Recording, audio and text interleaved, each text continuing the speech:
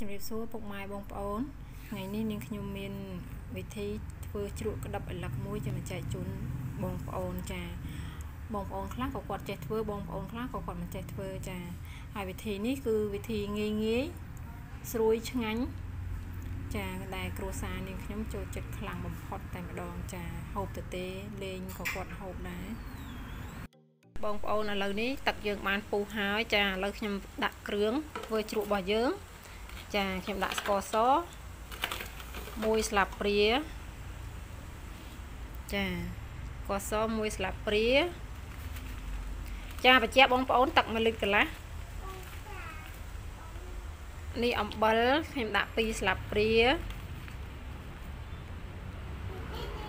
ចាហើយចំណែកប៊ីចេងនេះខ្ញុំដាក់តិចតួចមែនតែនចាដាក់ឲ្យតែមានជាតិទេ ចាប៊ីចេងមួយចុងស្លាបព្រាចាបងប្អូនកូរវាឲ្យចូលគ្នាចារឿងធ្វើជ្រក់បងប្អូនទាល់តែរៀងប្រៃបន្តិចបានឆ្ងាញ់ចាអារឿងគ្រឿងយើងចង់ផ្អែមចង់អីហ្នឹងថែមថយនៅខាងក្រៅចាប៉ុន្តែសម្រាប់យើងធ្វើជ្រក់ហ្នឹងយើងធ្វើឲ្យប្រៃសិនទៅ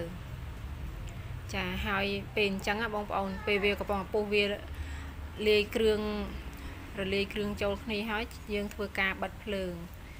ចាធ្វើការបិទភ្លើងឲ្យវាអស់កំសួលពុះរយៈពេលប្រហែលជា5នាទីយើងដាក់ក្តឹបរលឹកចូលចានេះខ្ញុំប្រញាប់ដាក់ចូលដោយសារអីយើងធ្វើក្តឹបរលឹកហ្នឹងជាមួយនឹងស្ដីបដោះចាអញ្ចឹងយើងចង់ដាក់ក្តឹបរលឹកឲ្យចូលមុនទៅចំណែកអឺស្ដីបដោះយើងដាក់តាមក្រោយ ចាដាក់ទឹកនៅកំប៉ុងទឹកក្តៅអញ្ចឹងទើបក្តឹបរលឹកវាស្រួយឆ្ងាញ់នេះ5នាទីហើយបងប្អូនយើងដាក់ក្តឹបរលឹកចូល ចាដាក់យើងនៅក្តៅអញ្ចឹងបងប្អូនបាន ក្តឹបអលឹកយើងនឹងវាស្រួយ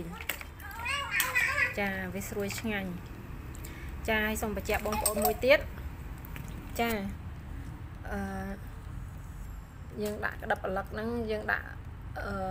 យើងជ្រក់ហ្នឹងយើងដាក់នៅក្នុងទឹកទឹកក្តៅអញ្ចឹងបងប្អូនកុំប្រើជាក្តងជ័រ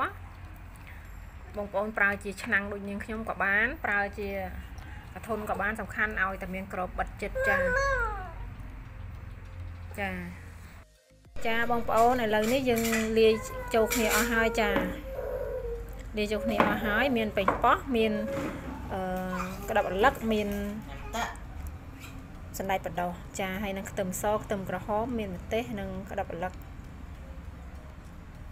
ចាយើងធ្វើមុនដំបូងគឺឲ្យប្រៃដល់ពេលយើងញ៉ាំទៅអាហ្នឹងចាំយើងលាយគ្រឿងចាប៉ុន្តែកុំដាក់ប្រៃពេកហើយបើសាបហើយនឹងផ្អែមគឺជ្រក់ហ្នឹងធ្វើឲ្យអត់ឆ្ងាញ់ទេចាអញ្ចឹងចាំលាយគ្រឿងតាមក្រោយបងប្អូន